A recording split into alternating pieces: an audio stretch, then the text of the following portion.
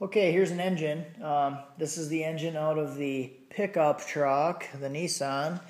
Um, there's the block that I just got done tearing apart from the 89 240SX. Virtually the same motor, um, different intake. A couple things are different, but basically the same block and internals and all that happy horse shit. Um, uh, got done basically taking off all the emissions junk out of this intake. This is the 240 intake, so this is one I'm probably going to use. Got to get a fuel rail and all that shit for it.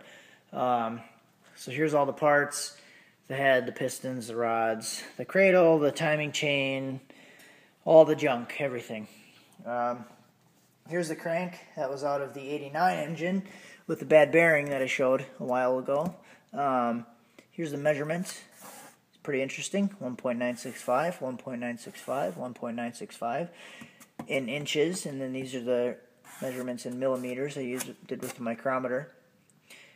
Uh, 49.91, 49.91, 49.91. So these three cylinders are all exact. This is the one with the bad bearing. Came out to 49.52 and 1.948. So this one's actually worn down a little bit more a little bit smaller. So I'm going to junk this crank. Um, might not junk it, but I'm not going to use it. So the intent is to pull the crank out of this engine.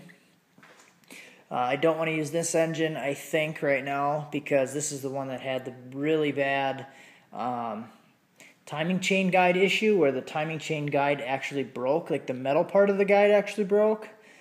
Um, and I, it got chewed up in the engine so that when I when I dumped the oil out of it, it actually looked like a metallic uh, paint.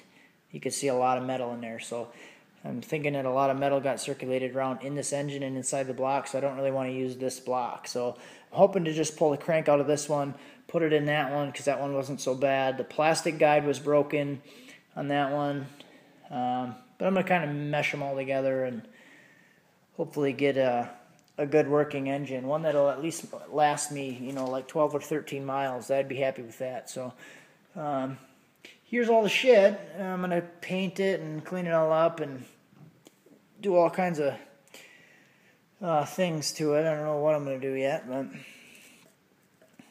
yeah, that's about it.